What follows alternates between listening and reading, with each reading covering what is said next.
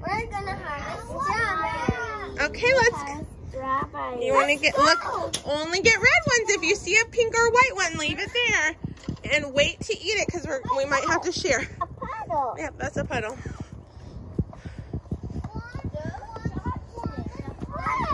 Okay, you can just pull the strawberry part. If you see red, you can pull it.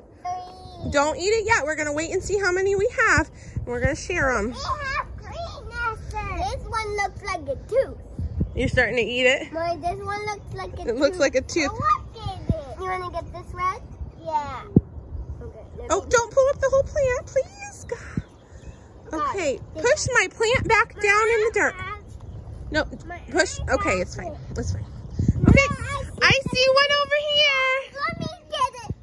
That one's for Caleb. I see that green. Pull it carefully. Okay, I see that so we had four strawberries. Oh, I see one more, but I think it's kind of pink. We'll save that one for later. Are you guys eating your strawberry? Save one for Caleb. Give me one for Caleb. The little one for Caleb. Oh, very nice.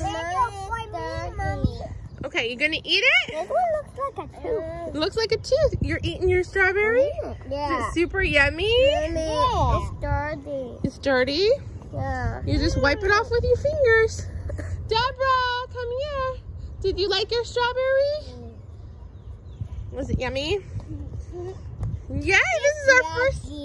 Oh, you just don't want the green part, huh? You got the red part. All right, let's go inside and give Caleb his. Yay, I like ever-bearing strawberries. This one's for Caleb. Here's your strawberry, Caleb. You're watching TV. Here's your strawberry. Try it. You like it? I took the green part off for you. You gonna try it? Oh, it's right from the garden.